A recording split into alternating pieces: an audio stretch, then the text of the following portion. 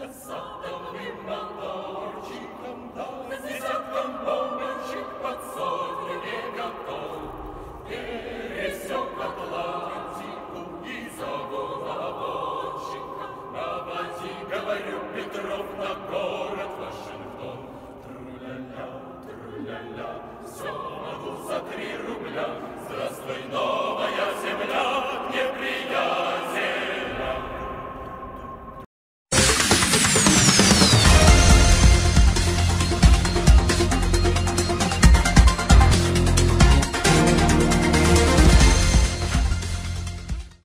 Привет!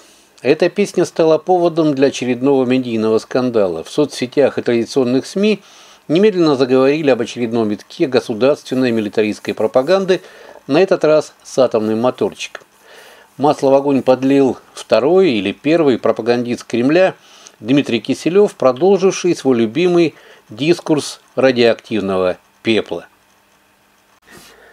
на этот раз в своих вестях недели он поделился со зрителями расчетами времени подлета российских ракет к Пентагону и другим военным центрам управления в Соединенных Штатах, для наглядности продемонстрировав все это на карте. Путин просит посчитать, вот мы и посчитаем прямо сейчас.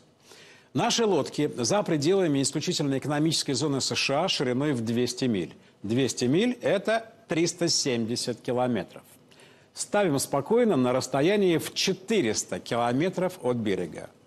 Все эти центры принятия решения от берега тоже не так далеко. Скажем, еще 400. Итого 800. Циркон летит со скоростью 11 тысяч километров в час. Если так, то на покрытие 800 километров циркон затратит чуть меньше пяти минут. Задачка для школьника третьего класса.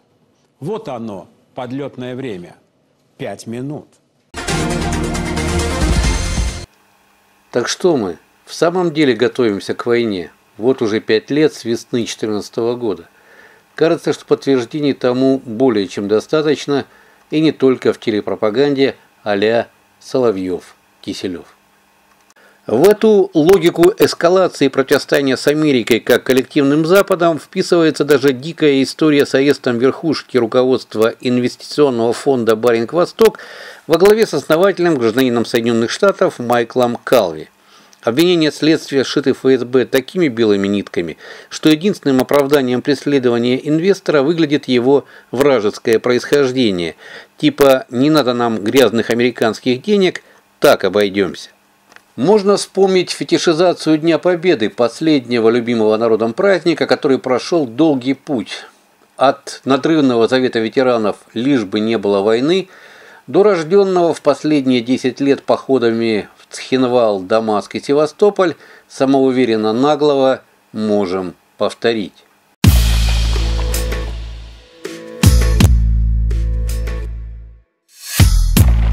Можно вспомнить еще расплодившиеся по стране выставки военной техники и даже почти настоящие детсадовские военные парады.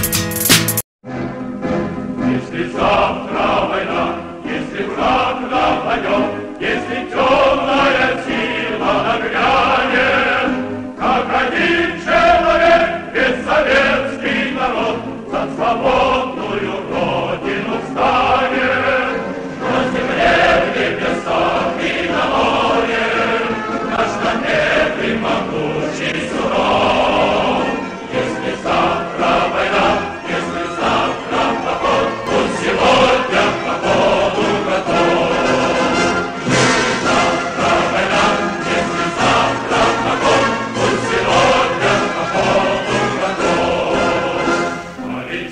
Но разница все-таки есть. То, что у наших отцов и дедов перед прошлой большой войной получалось бодро весело, потому что не было особых сомнений в том, что война будет, у наследников получается как-то натужно.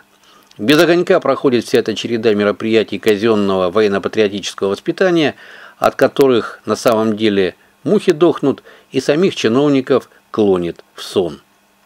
И даже самому храброму в России человеку не очень веришь, когда он обещает забрать с собой в рай всю страну. Ну что ж, а мы жертвы агрессии. И мы как мученики попадем в рай. А, а они просто сдохнут.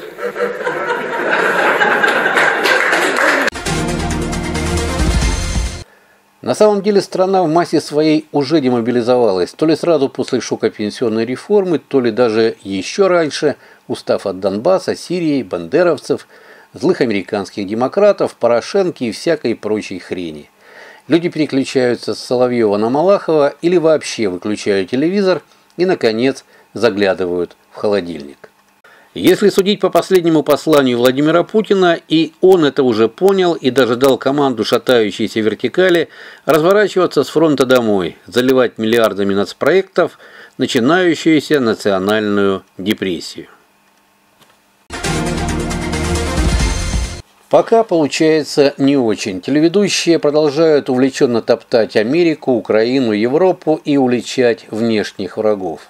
И на нашем телевидении до сих пор нет ни одной передачи, которая бы воевала с такими внутренними врагами нации, как нищета, бесправие, развал институтов и производств, нравственная деградация верхов при кажущейся апатии низов. Никто так не произнес слух еще, что 5% экономического роста в год – это лучшее оружие против санкций, хотя об этом нужно повторять каждый день. Просто потому, что, как учил еще Карл Маркс, Любой самый злобный капитал не в силах устоять против такой прибыльности, он сразу добреет и начинает проситься в гости. Всего вам доброго.